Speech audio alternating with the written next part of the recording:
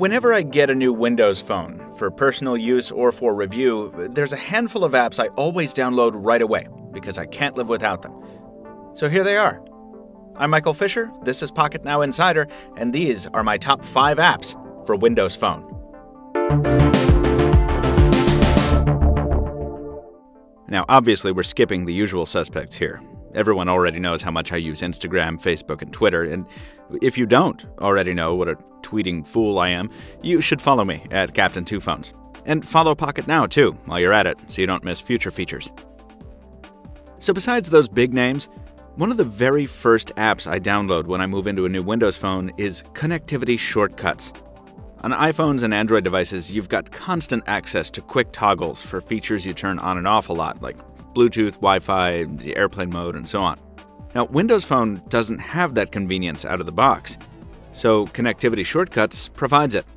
You can either use the app itself as a hub for your toggles, or you can pin the toggles you use most often directly to your start screen for easy access. The icons aren't the prettiest, but you can change the colors of the various toggles to suit your tastes, and it performs flawlessly on every Windows phone we can find, all for free. That's an awesome price to pay for such a no brainer convenience that frankly should be included in the OS. So once you've used connectivity shortcuts to switch off your Wi Fi and toggle GPS on, you can strike out into the wilderness with your Windows phone. But you'd better have an app that lets you make the most of your phone out in the wild, and that's where Jack of Tools Pro comes in. Now, I've been using this one since a cross country road trip about two years ago, when Jack of Tools helped me determine why I was having such a difficult time breathing. And it turns out it's because I was about 8,000 feet above the ground when driving through the mountains.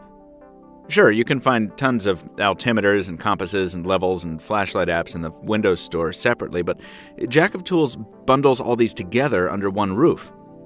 It also includes more specialized tools like a caliper and a sound meter and you can pin all of these directly to the start screen as well. It's neither the prettiest nor the most stable app, but its convenience outweighs its occasional instability. If you're a Windows Phone toting outdoorsman, the two bucks you'll spend on this app will probably be well worth it. And if you take a lot of pictures, whether indoors or out, you're going to want to invest in Fotor. With over 500 five star ratings and a free price tag, this is a real no brainer for anyone who likes manipulating pictures. Yes, there's all the usual snooze-worthy stuff like cropping, rotating, and yeah, yeah, yeah, yeah, yeah. But where the real fun starts is in the effects folder, where so many layers and filters await that I, I can't even count them. You can lay anything from an explosive lens flare to a mold effect over your photograph, drop a whole slew of frames atop it, and then you can add tilt shift effects on top of that. There are so many options, it can seem a bit overwhelming at times, but the interface is straightforward enough, and the end results are cool enough that a little option overload is a really small price to pay for so much versatility. I'm very glad this app is free, but I have no idea why it is. For the feature set you get, the developer could easily charge 2 to 3 bucks a pop. And speaking of highly rated apps, well, you knew this one was coming. Microsoft's fight with Google has left Windows Phone without a feature filled YouTube application, but MetroTube has been there as our faithful gap filler for long enough to rack up over 10,000 reviews and a nearly perfect rating. MetroTube doesn't just let you watch YouTube videos, it lets you filter searches by time, relevance, or category. You can pin videos directly to the start screen, and you can preload videos for later viewing, which is really handy if you ride a train and don't have coverage the whole way. Add in a reliable comment system and integration with your personal Google account, and you've got real world proof that sometimes third party apps are just as good as, if not better than, the originals. And finally, if you're the gaming sort, you've gotta try Rise of Glory.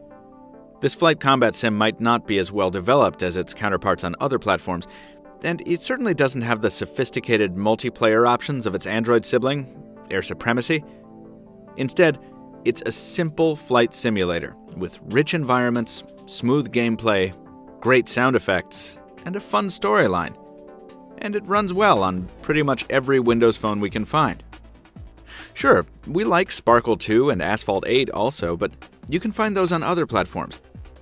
As this particular version of Rise of Glory can only be found on Windows Phone, and since I've been playing it for years, it takes spot 5 of 5 in today's app roundup. But that's just me, folks. You Windows Phone users out there have your own selections for top 5 Windows Phone apps, top 3, top 1, whatever it is.